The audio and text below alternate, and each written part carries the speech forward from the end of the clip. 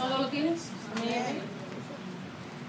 La palabra se lee en el nombre del Padre, el Hijo y el Espíritu Santo. Porque de tal manera, porque de tal manera amó Dios al mundo que ha dado su Hijo, su ingénico, para que todo aquel que en él crea no se pierda, mas tenga vida eterna. Porque nos envió Dios a su Hijo al mundo para condenar al mundo, sino para que el mundo sea salvo por él. El que en él cree no es condenado, pero el que no cree ya ha sido condenado porque no ha creído en él. Vamos a hacer una pantomima para la gloria del Señor. Escuche la alabanza. Deja que penetre en lo más profundo de su corazón. Trata de meditar completamente para que puedas recibir lo que el Señor tiene para el pueblo. Y más que nada, que cada uno de nosotros pueda recordar el sacrificio que Él ha hecho por cada uno de nosotros. Que Dios lo bendiga. Amén.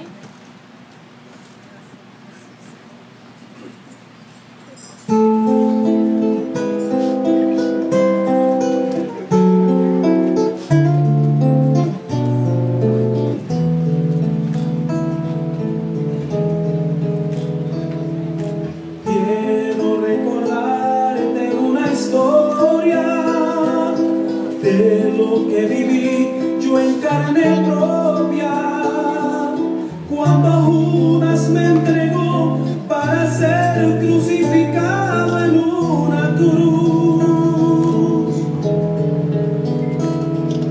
Mientras me golpeaban en la espalda, solo meditaba en que te amaba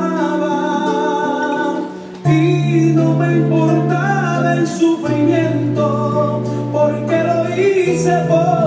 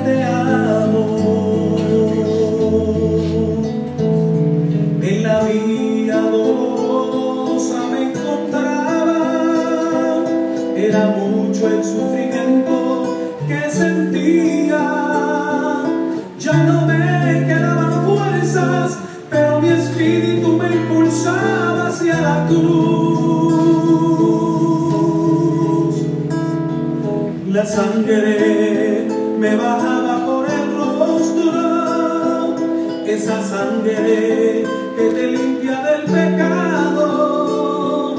Di mi vida en el madero y al tercer día me encontraba en pie de nuevo,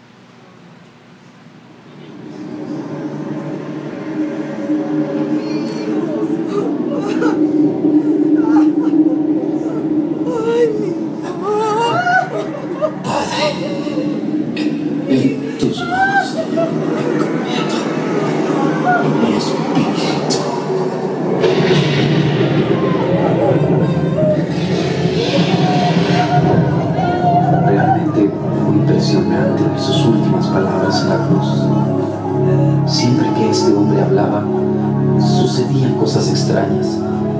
Pues yo vi mucha gente que fue sanada por él, aunque a nosotros los soldados romanos nos prohibían hablar de estas cosas. Yo estuve parado junto a esa cruz y la verdad no quería estar ahí, porque cuando volteaba para ver a Jesús, su mirada me hacía sentir y pensar que yo debería estar en su lugar. Sino que a pesar del gran sufrimiento que padecía y de su expresión de agonía, Él me miraba con amor. Y aún no alcanzo a entender por qué Él decía palabras como, Padre, perdónanos porque no saben lo que hacen. En mi interior yo le decía, vamos, si eres el Hijo de Dios, ¿por qué no bajas de esa cruz? Porque si dicen que no has conocido pecado, mueres por los pecadores y los presentas justos ante tu Padre cuando creo que el único justo eres tú.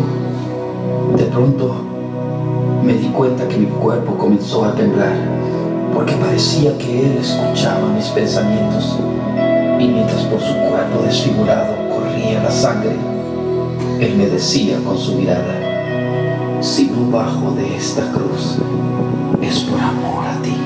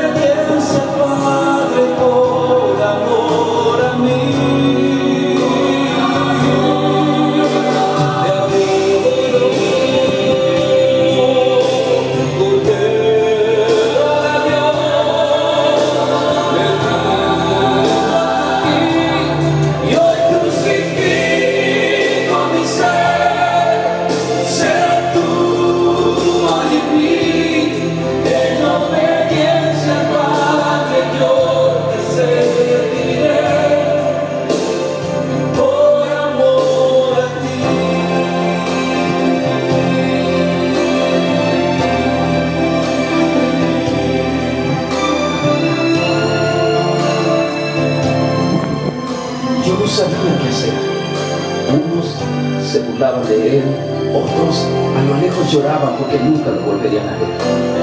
Aunque supuestamente él dijo que al tercer día iba a resucitar. Y bueno, por esa razón me ordenaron cuidar de esta tumba. Sinceramente yo quisiera irme de este lugar. No sé por qué, pero me siento un poco temeroso.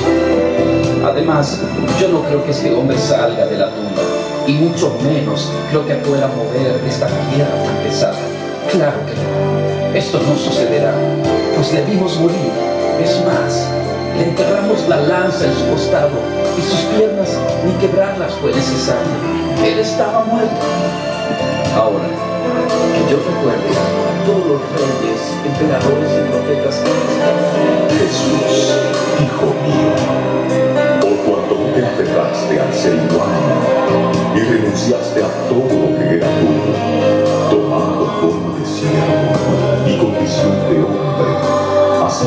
la muerte. Yo te levanto con el poder del Espíritu Santo, venciendo a la muerte, y te doy el más alto honor y el más excelente de todos los nombres, que es sobre todo nombre.